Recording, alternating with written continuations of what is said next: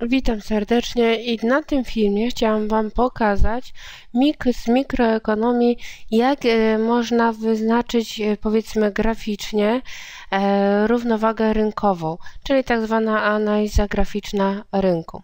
Jeżeli sobie powiedzmy chcemy się dowiedzieć, co to jest równowaga rynkowa, to jest dosłownie taki stan, kiedy na ujęciu graficznym krzywa popytu dokładnie przecina się z krzywo podaży. My musimy ustalić w tym momencie, przy jakim jest to poziomie zarówno ceny równowagi rynkowej, jak i też i ilości. I teraz y, generalnie nieraz pewnie spotkaliście się z takim wykresikiem, gdzie e, narysowana jest krzywa e, popytu, która ma nachylenie ujemne, krzywa podaży, która ma nachylenie dodatnie, to znaczy, że wraz ze wzrostem wielkości sprzedaży e, wartości te rosną tak, dla podaży, a dla popytu, jeżeli widzimy, że cena jest coraz niższa, to ludzie chcą coraz więcej kupować. Dlatego jest to nachylenie ujemne, bo jeżeli jedno maleje, to drugie rośnie. To są te nachylenia wynikają oczywiście z krzywej popytu i powiedzmy sprawa popytu i sprawa podaży, ale sam punkt E, który tutaj oznakowany został jako punkt równowagi, to dosłownie stanowi punkt przecięcia, gdzie popyt przecina się e, z podażą i w tym momencie, jeżeli mamy określić, co jest punktem równowagi, musimy dokładnie określić, jaka jest ilość równoważąca e, nasz rynek, czyli na osi xów ile wynosi ilość oraz na osi y ile wynosi ta cena, przy której wielkość popytu jest równa e, wielkości podaży.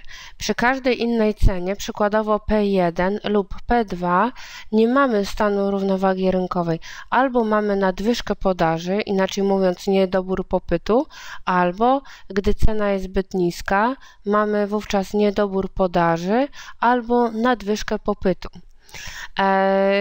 Zależy od uczelni, ale możecie mówić albo o nadwyżce podaży, albo niedoborze popytu.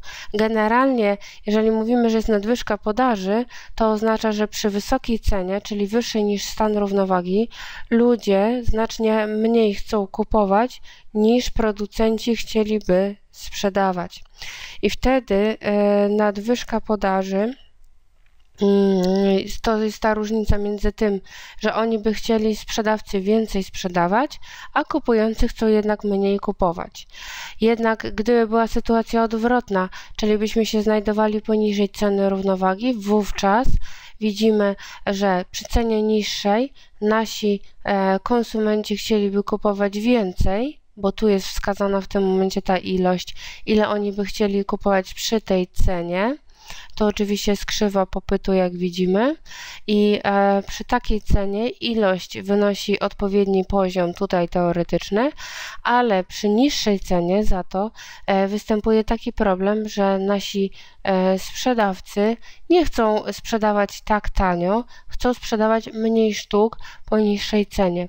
A więc tutaj ilość jest e, sprzedaży niższa i w tym momencie brakuje towaru na rynku, czyli mówimy, że mamy niedobór podaży, bo konsumenci chcieliby kupować więcej, jeżeli coś jest tańsze, ale sprzedawcy nie chcą sprzedawać e, towaru po niższej cenie.